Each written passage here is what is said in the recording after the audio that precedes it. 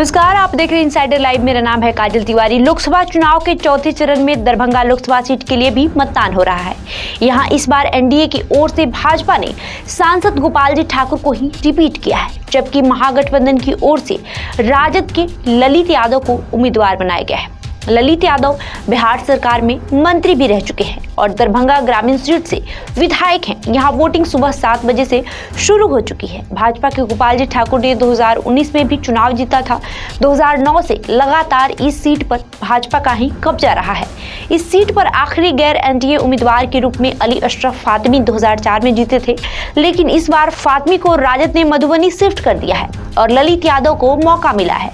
ललित यादव की टक्कर पिछले चुनाव में दो दशमलव छह सात लाख वोटों से जीतने वाले गोपाल जी ठाकुर से होगी। इस सीट पर 2009 और 2014 में कीर्ति आज़ाद जीते थे।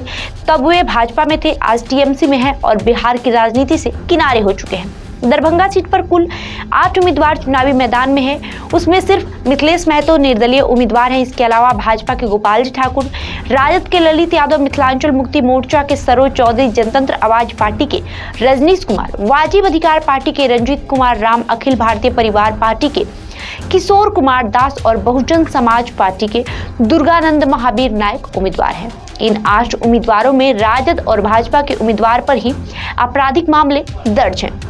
शेष किसी उम्मीदवार पर कोई मामला दर्ज नहीं है। 2019 के लोकसभा चुनाव में दरभंगा सीट पर कुल अंठावन दशमलव तीन पाँच फ़ीसदी मतदान हुआ था। इसमें भाजपा के गोपाल जी ठाकुर को साठ दशमलव सात नौ फ़ीसदी वोट मिले थे।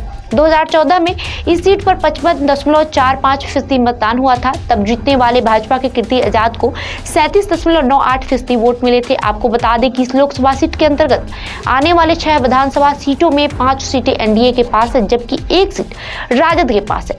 राजद के पास सिर्फ़ दरभंगा ग्रामीण विधानसभा सीट है, जिसके विधायक ललित यादव इस बार लोकसभा चुनाव राजद की ओर से लड़ रहे हैं। बहरहाल, आपका इस खबर पर क्या राय है, हमें कमेंट करके ज़रूर बताएँ। साथ ही साथ इस वीडियो को लाइक करें, शेयर करें और हमारे यूट्यूब चैनल को सब्सक्राइब करें। धन्यवाद।